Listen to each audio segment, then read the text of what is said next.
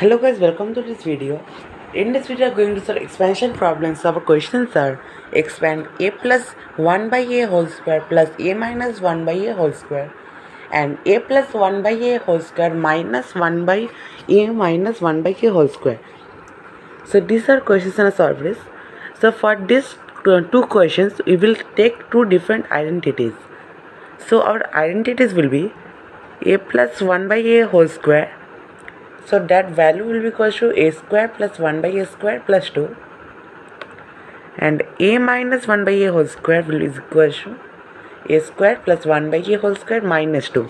So with these two identities we are going to solve these two questions. And guys I have made a complete video on the standard formulas and expansion. The link will be in description you can check it.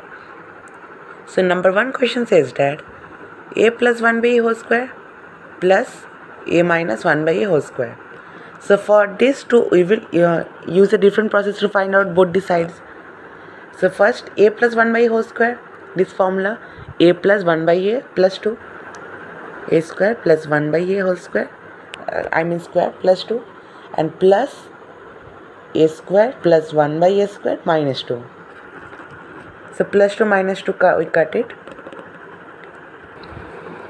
so a square plus 1 by a square again plus a square plus 1 by a square.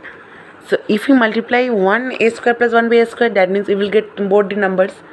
So therefore, to simplify this, we write 2 into a square plus 1 by a square. So this will be the simplest form of a plus 1 by a whole square plus a minus 1 by a whole square.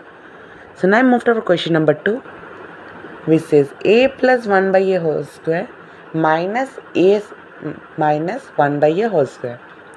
So for these two also we will uh, use the uh, different identities. So for a square plus 1 by whole square will be a square plus 1 by a square plus 2 and minus. Now give, give the bracket as that is minus. So now a square plus 1 by a square minus 2.